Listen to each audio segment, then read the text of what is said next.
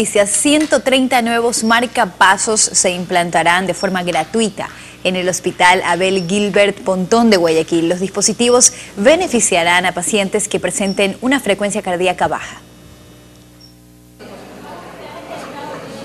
Desde marzo de 2014 hasta diciembre de 2015, en el Hospital Abel Gilbert Pontón se realizaron 150 cirugías de implante de marcapasos. Debido a esta demanda, esa Casa de Salud pone a disposición de los ciudadanos 130 nuevos dispositivos de forma gratuita. Esto no es una cosa que se tiene pacientes en espera, uno tiene pacientes de acuerdo a la demanda que exista en la emergencia del hospital, demanda para los pacientes con marcapaso y de acuerdo a la difusión de los medios que se puedan dar, los pacientes entenderán que pueden adquirir el marcapaso totalmente gratis a través de la derivación correspondiente. Según explica el doctor Luis Gómez, las intervenciones quirúrgicas beneficiarán a pacientes que presenten una frecuencia cardíaca baja. Frecuencias cardíacas por debajo de la normal, lo que es 50, 40 latidos por minuto o por debajo de esto en el día, pueden requerir un marcapaso, necesitan ser evaluados por un cardiólogo. El galeno indica que se trata de una cirugía mínimamente invasiva, es decir, que no es de corazón abierto y que dura entre una hora y hora y media. Se hace una incisión de 3 a 4 centímetros debajo de la clavícula en el hombro izquierdo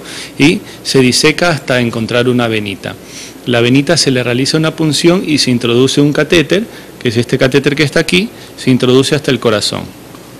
Una vez que es introducido en el corazón se fija el catéter y al músculo se fija con el generador de marcapasos. Tras esto, el paciente es dado de alta después de dos días. Marta Navarrete, Telerama Noticias.